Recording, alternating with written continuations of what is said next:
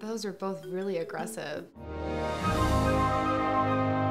I feel like hot dogs, especially, are just so quintessentially American, and put them around a pizza, and there you go. Plus, the chicken one is a little scary. That's not even deep frying, that's just putting them on fire. Oh,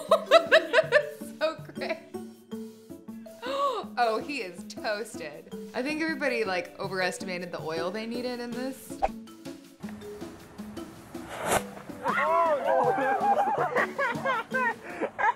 I- Why would you do that? Why would you set a firework off from your hand?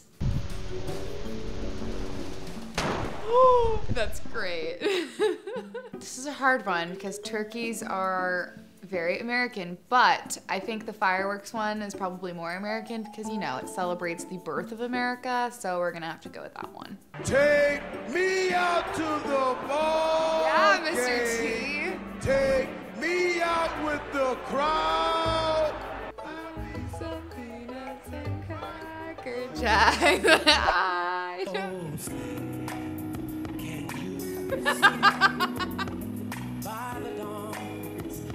Oh yes, this is grooving. okay, R. Kelly wins. Sorry, Mr. T.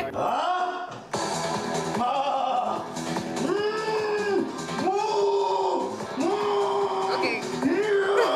I am a god. Is he saying I'm a god?